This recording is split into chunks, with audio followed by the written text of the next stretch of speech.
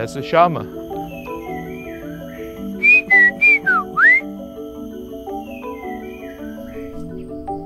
Pulau Ubin is an island off Singapore and it is the only part of Singapore that hasn't really been developed.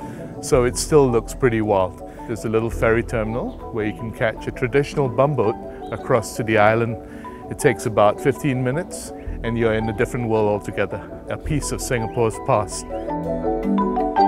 It's amazing, even though there's so little publicity about the island, more and more visitors from all around the world were making their way to Pulau Ubin. It's not designed for tourists, it's not made for visitors, it's just the natural order of things.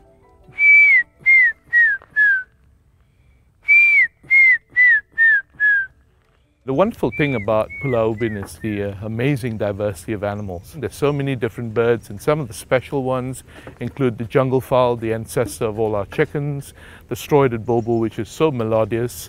But you can also come out to places like Chek Jawa and actually have a chance to see monkeys and wild boar and monitor lizards.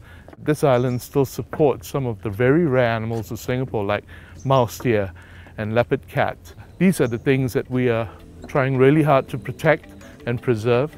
And with time, if the populations keep increasing, maybe everybody will get a chance to see them too.